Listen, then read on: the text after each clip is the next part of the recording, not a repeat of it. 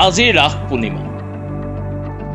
জামুগুৰিঘাটৰ জীয়া ভৰলী নদীৰ ৰাস পূৰ্ণিমাৰ দিনা পুৱাই গা ধুবলৈ হাজাৰ হাজাৰ ভক্তবান ৰাইজৰ সমাগম হোৱাৰ পৰিলক্ষিত হয়।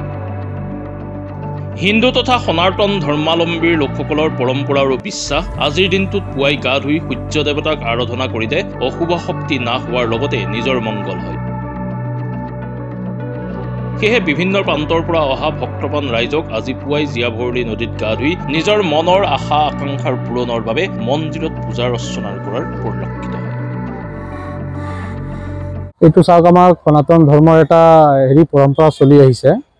এই আমাৰ কাৰ্তিক পূৰ্ণিমাত মানে গা ধুলে যিটো আপোনাৰ বছৰৰ যিটো পাপ চাপ থাকে বা কিবা বেয়া কৰ্ম কৰি থাকে সেইটো আপোনাৰ এই পাপৰ পৰা মুক্তি পায়।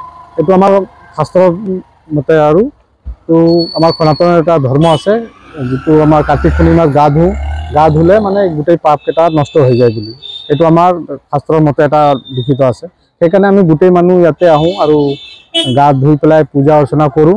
পূজা অৰ্চনা কৰি পেলাই গংগা মাক আমি অনুভূত হেৰি প্ৰাৰ্থনা কৰোঁ যাতে আমাক গোটেই পাপ বেয়া কৰ্মৰ পৰা হেৰি কৰে আমাক মুক্তি দিয়ে পৰিত্ৰাণ দিয়ে যে। সেইটো কাৰণে আমি গা ধুবলৈ আহোঁ। আমিও আহিছোঁ। বহুত দূৰৰ দূৰৰ পৰা মানুহ আহিছে ইয়াতে। আমি মিছামাৰীৰ পৰা আহিছোঁ মিছামাৰী। তো ইয়াতে বহুত দূৰৰ দূৰৰ পৰা মানুহ আহে আৰু। আপোনালোকে দেখিছে ইয়াতে কিমান মানুহ আহিছে এতিয়া। সেই- সেইকাৰণে আজি আমি ইয়া- ইয়াতে আহিলোঁ আৰু গা ধুবৰ কাৰণে।